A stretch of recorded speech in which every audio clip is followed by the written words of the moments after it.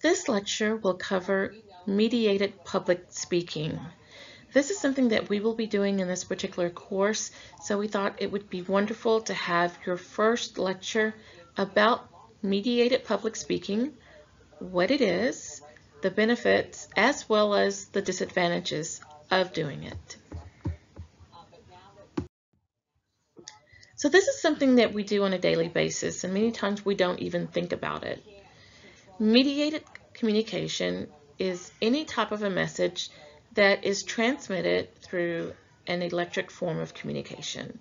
So if you send your friends a text message or a Facebook message, or if you send an email, all of those things are different forms or different methods of mediated communication.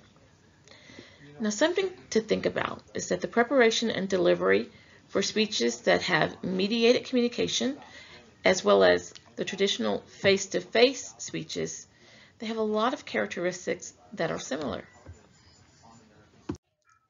Mediated communication really became popular with the rise in technology because we're able to do so many different things just at the touch of a button that's really what's helped propel mediated communication. Face-to-face -face presentations are still the preferred way of communicating, but having that mediated communication opens up new ways to communicate with others. For instance, with the pandemic that recently hit, we all had to find out about mediated communication when all of the coursework moved online. So it's something that's not going away anytime soon. So different types of mediated presentations can include recordings for class, such as what I'm doing now and what you will be doing in the future. Also, many job interviews are done with Skype because often the person who's looking for the job as well as the employer are in different locations. And so it's just easier to conduct that interview over Skype. There's podcasting and also say there's a lot of salespeople who use this form of communication when they're trying to pitch a product to potential buyers. Mediated communication is growing and more than three-fourths of colleges and universities have turned to online teaching or they offer students an opportunity through online teaching. And then that number is only going to grow, especially with the recent pandemic where everything had to transfer to being online. It's very important that students still are able to learn and it's important for educators to get their message to those students as well. So it's not just universities that are using it. High schools and even elementary schools have been using it because we really didn't have any other safe way for the educational process to continue. So we're going to talk about two different types of communication. One is pre-recorded, where a person can record their speech and other people can listen to it at their leisure. And the other is real time, where the speaker and the audience are both in the same location. There's several advantages to having mediated presentations and mediated communication. One of the biggest ones is the flexibility and that a person can watch a lecture or a video at their own leisure rather than having to be in one location where that speaker is at that same time.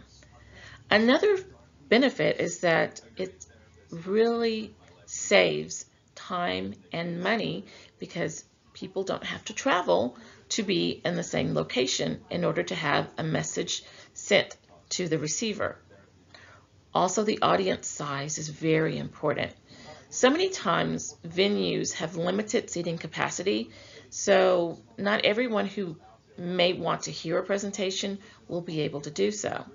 But if you record that speech, anyone who wants to listen to it is able to do so at their own leisure. More advantages of pre-recorded speeches are do-overs. If you didn't like the way it turned out the first time, you can always do it again. there's a pause and rewind buttons. You can go back, you can look at it and say, oh, wait a minute, that's not what I meant to say. Let me change it. You also have the option to save it in a number of locations, which is something I strongly recommend that you do. Once you make your videos, make sure that you save it in more than one location because with technology, you may lose it on one device. So it's always good to have it somewhere else where you can always go back to it if you need to.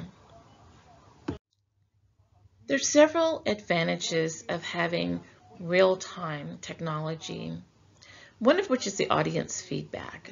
So if you are right there with the audience, you will have that immediacy right away. And so if you're doing a great job, you're going to know. Flip side of that, if you're not doing so well, you're going to know that as well.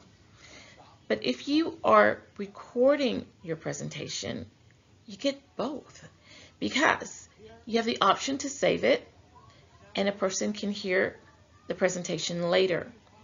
Something that I have noticed is that a lot of times I miss something the first time, but if I go back and look at it again, I hear something that I didn't hear the first time. So there's a lot of advantages to having that information recorded because there may be messages that you didn't pick up on the first time that you will get the next time that you see it. Let's talk about some of the challenges of mediated communication. One of the biggest ones is that the speaker loses the ability to be natural. So many times people come across as theatrical if they have to do it over and over and over again. And then pretty soon they start sounding robotic.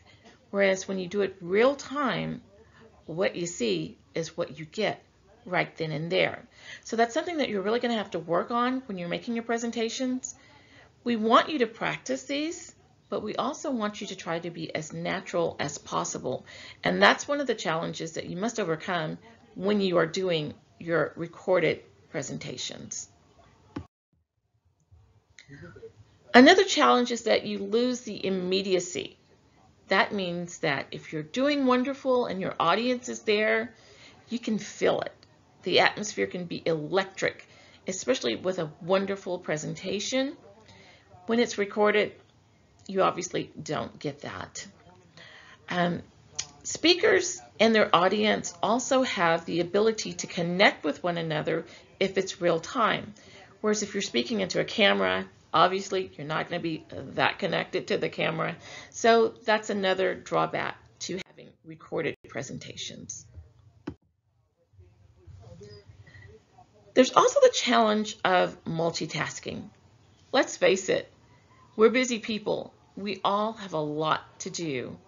And so a lot of times you will be watching TV or maybe texting your friend while you're watching a video. Whereas if it's real time, more than likely, especially out of common courtesy, you will focus on the speaker and what that person has to say. So multitasking can be a challenge, especially if you're watching a pre-recorded video. So kind of keep that in mind. Another big challenge, talked about it earlier, technical difficulties. What happens if you do all of this work and then you lose your speech? Trust me, I know that firsthand. I had gotten all the way to almost the last slide of this presentation and I deleted the entire thing. I am a genius. Yeah.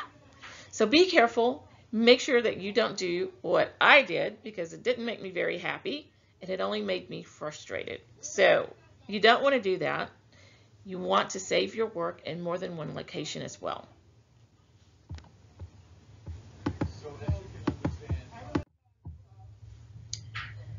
You need to think about your delivery when you make your presentation.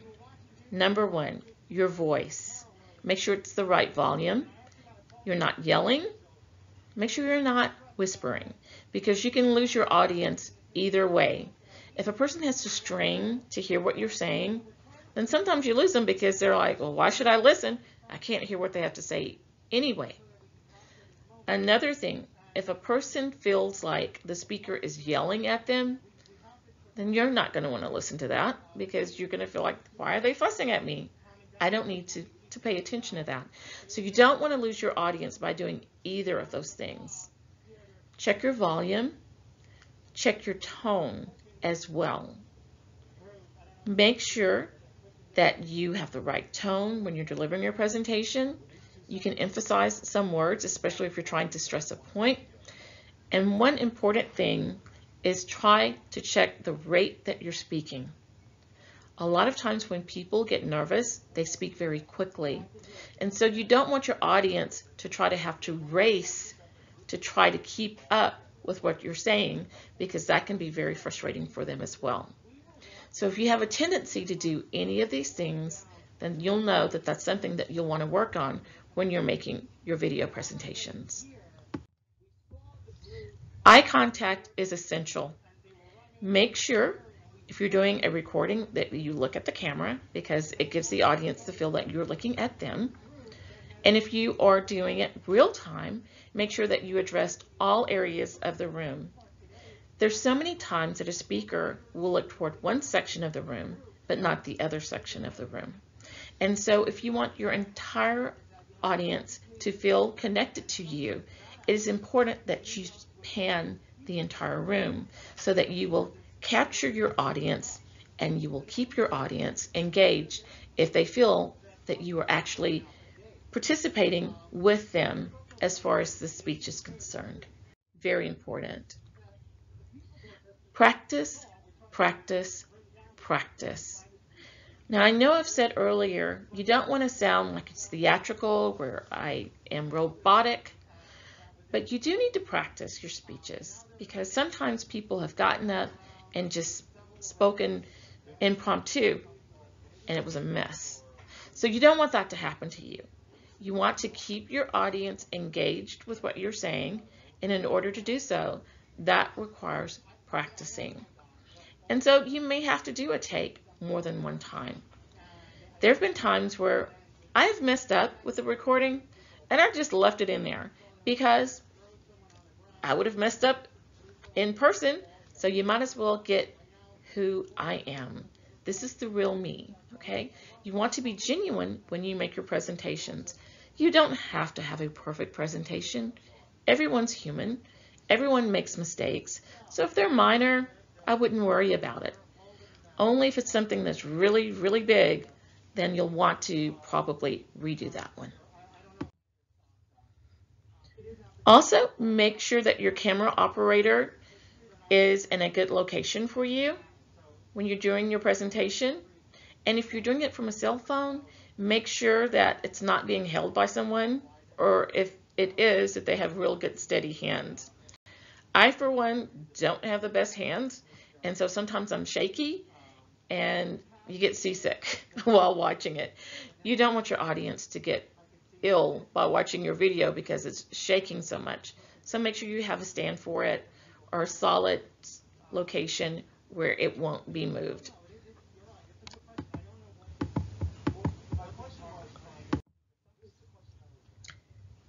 With your camera, you can use anything, an iPad, a smartphone, a laptop, any good quality um, camera would be good for you to use. But just make sure that it is of good quality because you don't want to have a video where it's hard to hear you or where it's hard to see you because those are also distractions that can lose your audience as well. Make sure of your background, make sure it's professional, that you don't have people walking back and forth because that is a major distraction. I will tell you, I've been on several Zoom meetings with individuals and they would have people running behind them or walking behind them and I would lose track of everything that they were trying to say because of the distraction. So make sure that you have a good location where there's no disturbance, you have good light, and it is a professional type setting. Also try to avoid the background noises because those also can become a major distraction.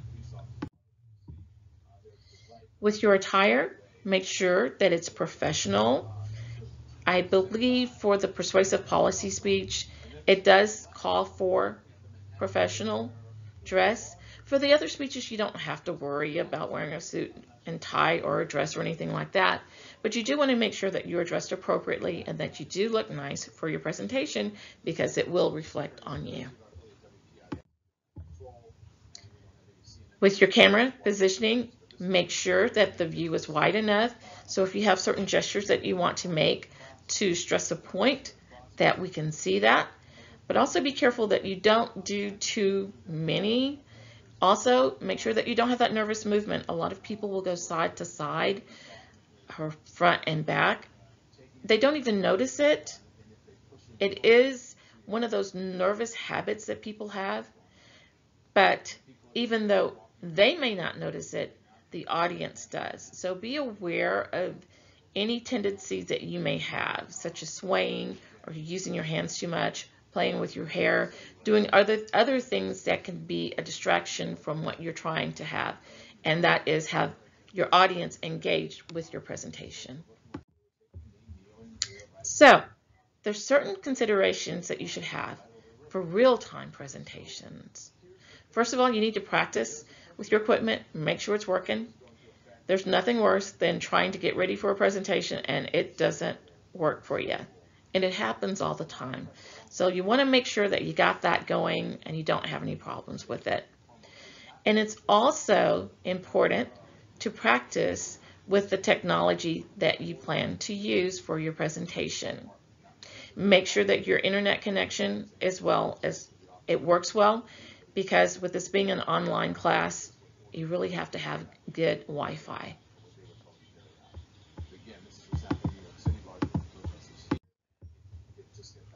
Okay, so if you haven't already watched the videos in Module 1 for guidelines, be sure and do so because that will help you get ready for video conferencing. And that is the last slide that I have for this presentation. And I look forward to talking to you some more in other presentations. I'll talk to you later.